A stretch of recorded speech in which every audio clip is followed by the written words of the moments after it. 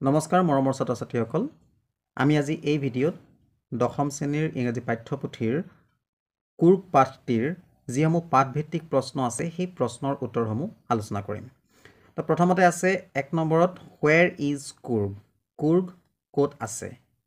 ইয়াৰ উত্তৰটো হৈছে Coorg the smallest district of Karnataka is located midway between Mysore and Mangalore কৰ্ণাটকৰ আটাইতকৈ সৰু জিলা কুৰ্গ মেংগলোৰ আৰু মাইচুৰৰ মাজভাগতে অৱস্থিত। দুই নম্বৰ প্ৰশ্নটো হৈছে what is the story about the Kodava people's descent Kodava মানুহবিলাকৰ বংশধৰৰ কাহিনীটো কি? তেওঁলোকৰ অৰিজিন বা তেওঁলোকৰ মূলৰ কাহিনীটো কি? তো ইয়াৰ উত্তৰটো হৈছে it is believe that Kodava people are possibly of Greek or Arabic origin এইটো বিশ্বাস কৰা হয় যে কোডাবু মানুহবিলাক সম্ভৱতঃ গ্ৰীক বা আৰবিক বা আৰব মূলৰ। It is said that a part of Alexander's army move towards south and settle there when their return became impractical and married the locals আৰু এইটো কোৱা হয় যে এলেকজেণ্ডাৰৰ সৈন্যবাহিনীৰ এটা দল বা এটা অংশ যেতিয়া দক্ষিণৰ ফালে আগবাঢ়ি গৈছিল আৰু তেওঁলোকৰ যেতিয়া ঘূৰি আহিবলৈ অসম তেওঁলোক যেতিয়া ঘূৰি আহিবলৈ অসমৰ্থ হৈছিল বা তেওঁলোকৰ পৰিস্থিতি যেতিয়া বেয়া হৈছিল তে তেওঁলোকে তাতে থিতাপি লৈ তাৰে যিসকল স্থানীয় লোক আছিল তেওঁলোকৰ লগত বিবাহ পাশত আবদ্ধ হৈছিল। They are dress martial practices and marriage rituals also' point out the fact that they are of Arabic origin তেওঁলোকৰ পোচাক তেওঁলোকৰ যুদ্ধক্ষেত্ৰত যুদ্ধক্ষেত্ৰৰ যিবিলাক নিয়ম আৰু তেওঁলোকৰ বিবাহৰ যিবিলাক ৰীতি নীতি এইবিলাকে উনুকিয়াই দিয়ে যে তেওঁলোক আচলতে আৰবিক মূলৰ। নেক্সট কুৱেশ্যনটো আছে what are the some of what are some of the things you know' about the people of Coorg তোমালোকে কিছুমান কথা কুৰুগৰ বিষয়ে কি জানা? মানুহবিলাকৰ বিষয়ে কি জানা?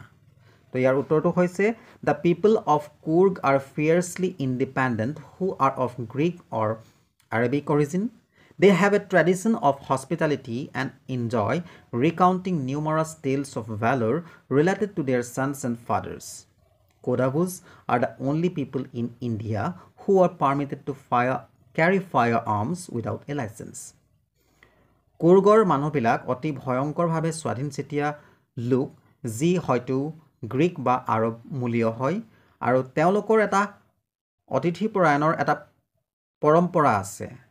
আৰু তেওঁলোকে বিভিন্ন ধৰণৰ কাহিনী তেওঁলোকৰ পুতেক আৰু দেউতাকৰ দেউতাকহঁতৰ বীৰত্বৰ কাহিনী কৈ আনন্দ পায়।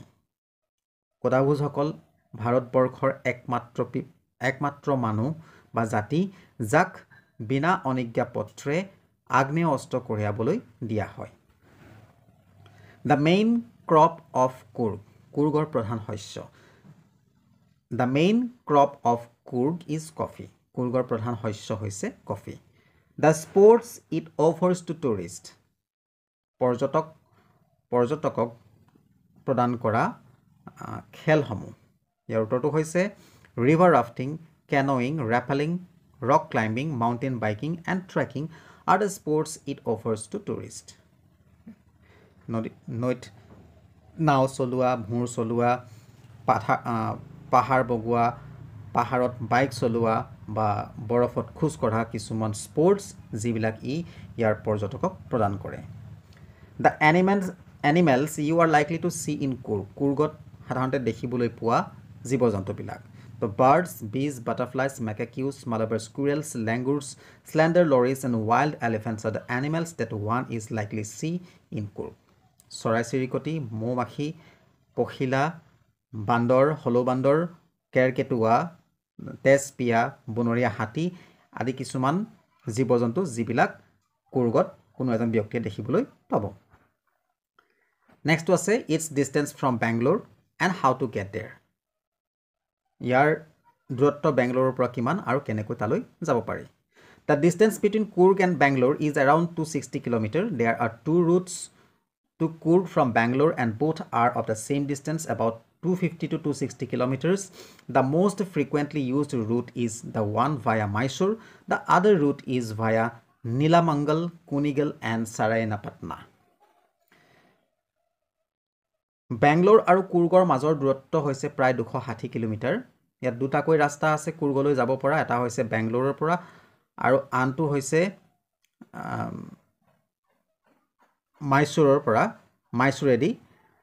দুয়োটাই দূৰত্ব প্ৰায় সমান দুশ পঞ্চাছ আৰু দুশ ষাঠি কিলোমিটাৰ। আটাইতকৈ বেছি সঘনাই ব্যৱহাৰ কৰা ৰাস্তাটো হৈছে যিটো মাইচুৰ হৈ যোৱা সেইটো ৰাস্তা বেছি সঘনাই ব্যৱহাৰ কৰা হয়। আৰু আনটো ৰাস্তা হৈছে নীলামংগল কুনিগল আৰু চাৰেণ্যাপাটনা হৈ যাব পাৰি।